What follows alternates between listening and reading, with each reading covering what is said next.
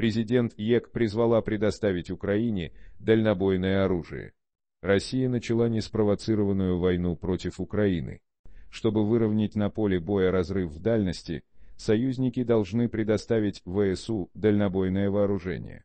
Об этом заявила президент Европейской комиссии Урсула фон дер Ляйен, выступая на форуме Глобсек, пишет РБК «Украина» со ссылкой на пресс-службу ЕК.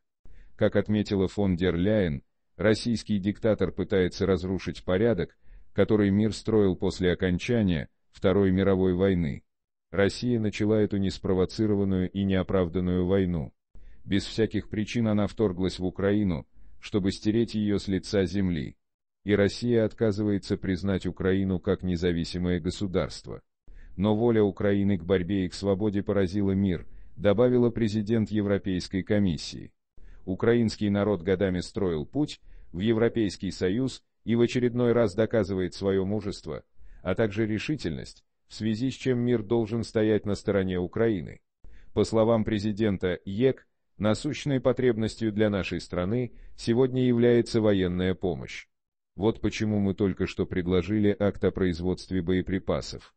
Мы хотим подтолкнуть нашу оборонную промышленность к наращиванию производства крайне необходимых 155 миллиметровых и 152 миллиметровых артиллерийских снарядов. Те, кто может, должны предоставить Украине дальнобойную артиллерию и системы вооружения. Это может помочь Украине выровнять на поле боя разрыв в дальности, пояснила Урсула фон дер Ляйен. Миллион боеприпасов для ВСУ в марте Европейский Союз согласовал общую закупку миллиона боеприпасов для наших воинов.